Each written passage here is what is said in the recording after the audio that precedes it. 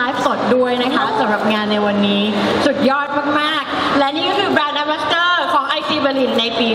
2023 นั่นเองนะคะ ขอแนะนำอีกรอบนะคะ นี่ก็คือคุณแอลลี่อัชริยานิติพลและคุณหมากปริญสุภารัตน์ขอเสียงปรบมือให้กับแบรนด์ a m b a s s a d o r ของเราอีกรอบหนึ่งค่ะ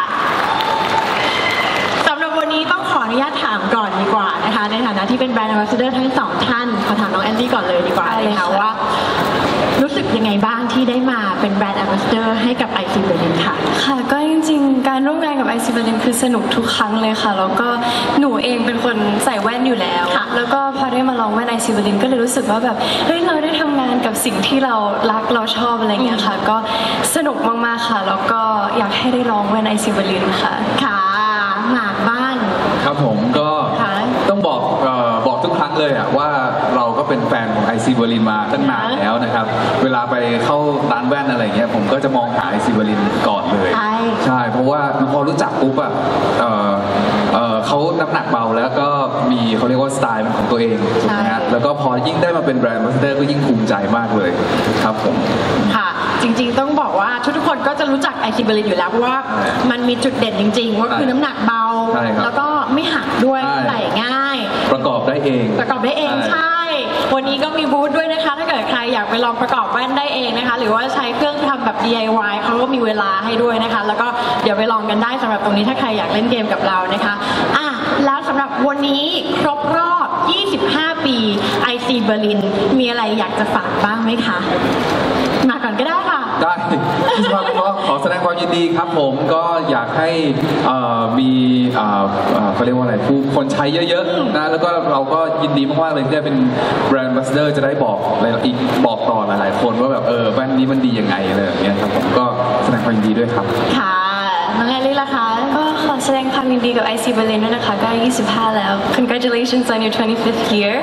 and um, ขอให้ทุก ๆคนรัก IC Berlin แบบนี้ไปนานๆนะคะแล้วก็ถ้าใครยังไม่เคยลองก็ไปที่ร้านแว่นแล้วก็จะเห็นหน้าหนูกับพี่หมากอยู่ก็สามารถไปจิ้มลองกันได้เลยค่ะ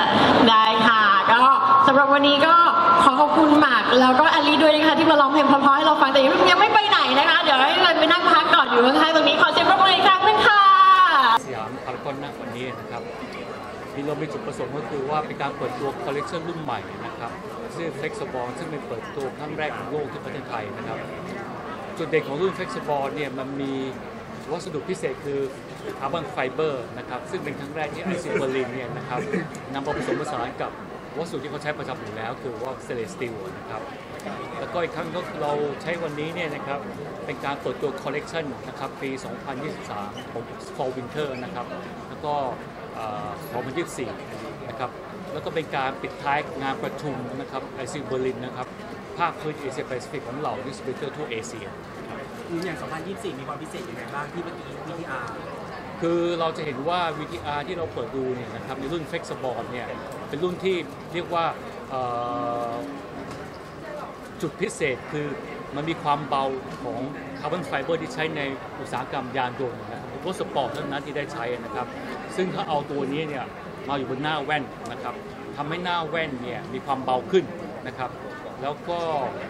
ผู้บริโภคเนี่ยเวลาใส่แล้วเนี่ย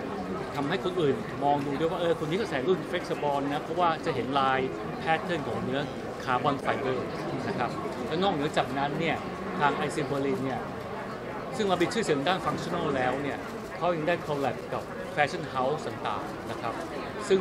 เป็นการตอกย้ำว่า ic! berlin เนี่ย เราไม่ใช่แค่โด่งดังเรื่อง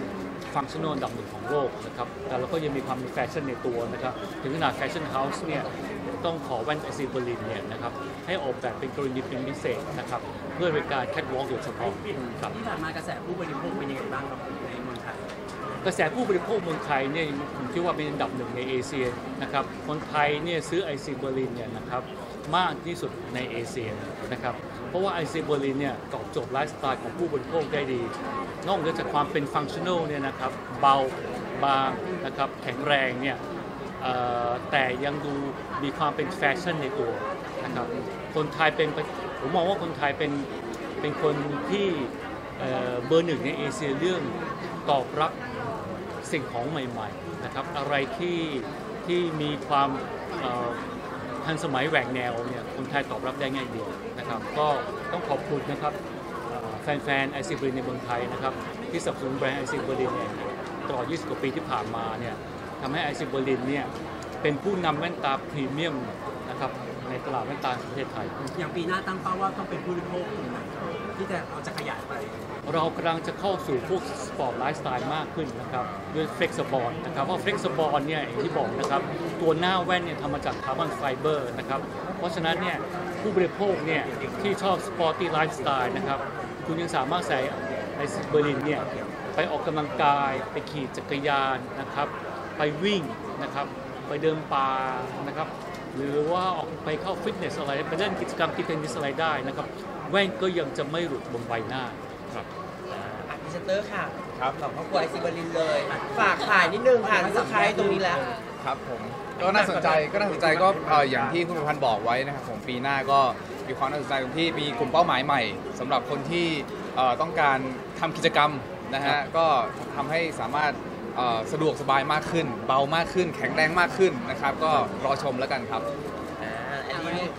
จริงๆแล้วอย่างที่หนูบอกตลอดนะคะหนูเป็นคนใส่แว่นอยู่แล้วแล้วก็เลยอยากให้เชิญชวนทุกคนค่ะให้มาลองที่ลองไอซีบรินกันเพราะว่ามันน้ำหนักเบามากๆใส่สบายมากๆนะคะแล้วก็ส่วนตัวคือหนูชอบทุกรุ่นเลยเพราะหนูรู้สึกว่ามันใส่ได้ทุกที่อะค่ะใช้ได้ทุ